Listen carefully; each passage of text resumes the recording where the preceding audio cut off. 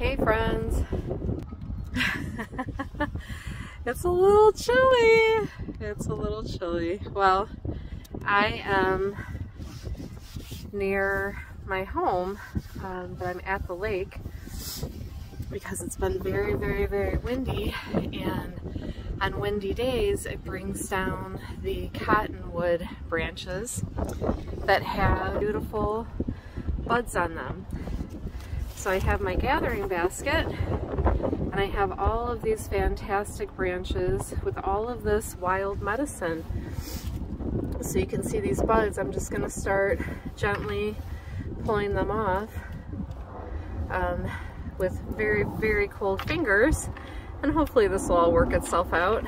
Um, but I'm going to stand here and begin popping these off and putting them in the basket. Now, once I'm done cleaning all of these branches off of these fantastic buds, I'm going to take them home where I already have a mason jar with Everclear in it. And this is going to cure over the winter season. Um, and I can keep adding to it all winter. So stay tuned. Okay, so here we are. This might not look like a lot, but when you put it inside of a mason jar, it is actually quite a bit. I would bet this is probably four ounces of buds. Um, and then there's all of the sticks. I'm going to return the sticks back to the soil that I harvested them from. And I'm also going to make an offering. Cottonwood buds, I'm making one in Everclear as a tincture that's going to sit for a long time. I won't even pour it off until the spring. And I'll keep adding to it um, but another, this batch is going to become an oil, so I'm going to take uh, a really high grade olive oil, put it in a mason jar and store it in the, um, I have a curing cabinet and it's where I leave things to just sit and rest out of sunlight and it's a nice cool dark place. So these buds, you could think of them as aspirin, right? They help with um, anti-inflammatory. They also have uh, anals I can't pronounce the word, but um, antiseptic, analgesic. Um, bees love the catkins and the buds they use. Um, there's like a sticky uh, outer part of the cottonwood bud, and the bees use that to seal up their hives in the winter. My fingers smell like cotton candy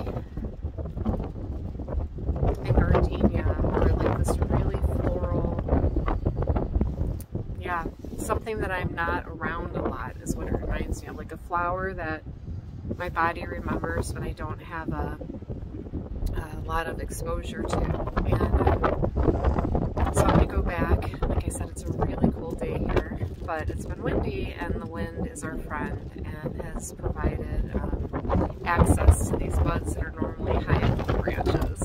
So I'm going to go grab another round and then get back home to finish this process. So I wanted to show you one thing. It's sandy. So these have quite a bit of sand on them as you can see.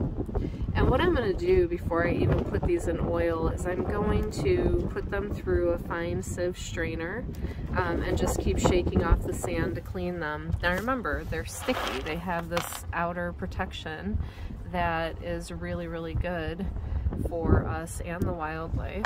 Um, so I don't want to wash that off. I want these to actually be nice and dry before I put them in oil to prevent any chance of molding from occurring.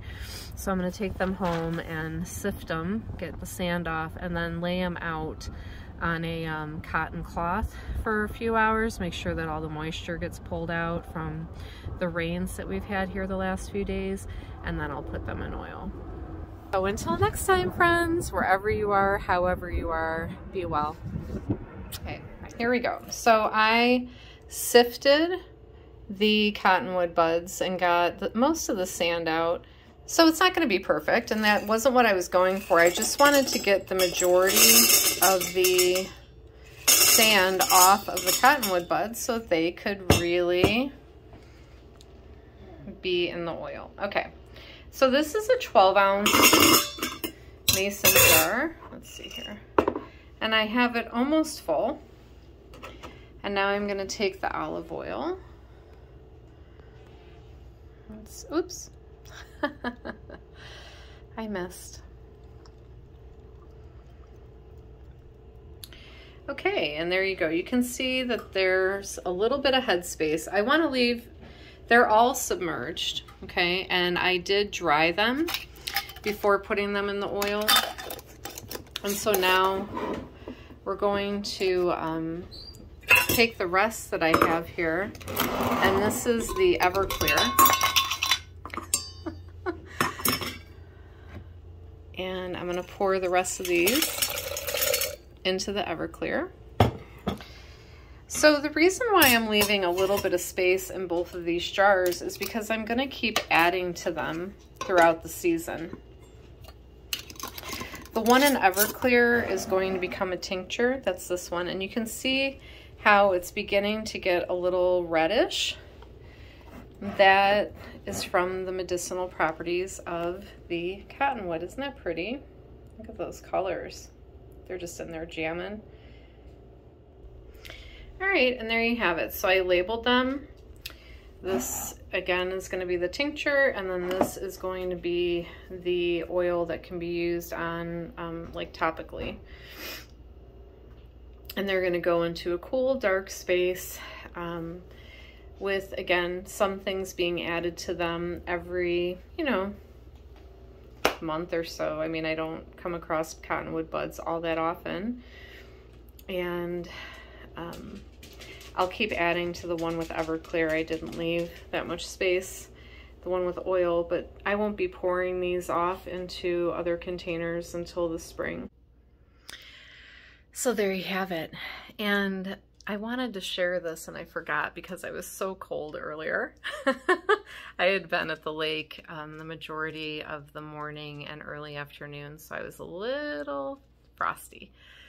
Um, but what I wanted to say is that this is my first season of really foraging and beginning to create medicines and um, working with different plants in different ways. So I understand the local flora around here and I have been able to collect foods for edibility.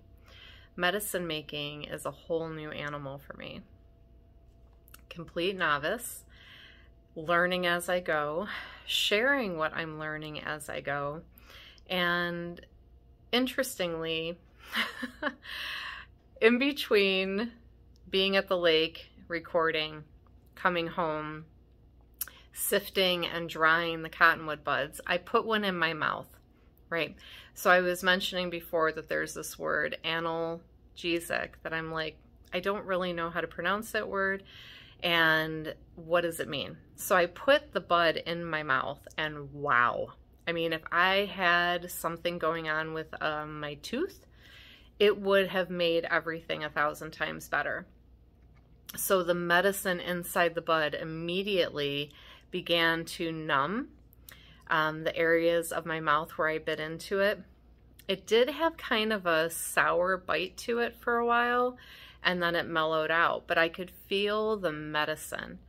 I could really feel the, um, the medicinal properties of the bud working its way around my mouth. And I thought to myself, I wonder if I could make bitters with these um, cottonwood buds because it did have kind of that bitter digestive taste to it too. So I'm going to look into that. I don't know. Um, but there, there's definitely, I think there's a lot of ways to use them and I'll be sharing as much as I can as often um, as I'm like learning as I go. So wherever you are, however you are, wishing you all the best. Mwah!